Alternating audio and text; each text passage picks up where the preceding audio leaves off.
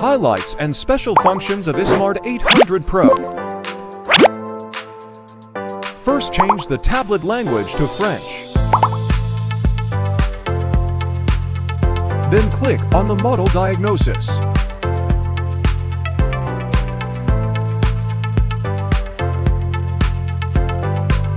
Here you can see that AutoScan is still in English, not shown in French.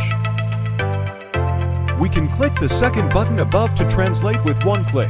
After translation, we can see that it has become French.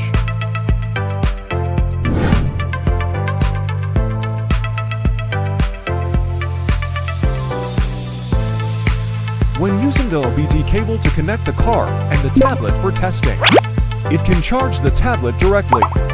It can also be used when the tablet is out of power. Click on Diagnostics. Select OBD II for auto scan. After entering, you can see the diagnostic menu. Click Red Codes. You can see some fault data. Go back and click Erase Codes. The clearing is complete. Then click Live Data to view. Can see the real-time data of some vehicles. Connect to Smart 800 Pro with OBD cable for car. Enter the diagnostic menu. Select Live Data.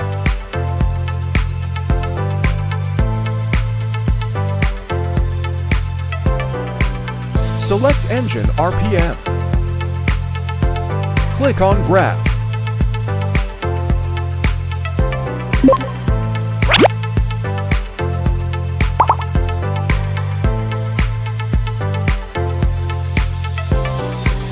When stepping on the accelerator, you can see the engine RPM waveform, and its data changes. The above are the highlights and special functions of iSmart 800 Pro. Thank you for watching.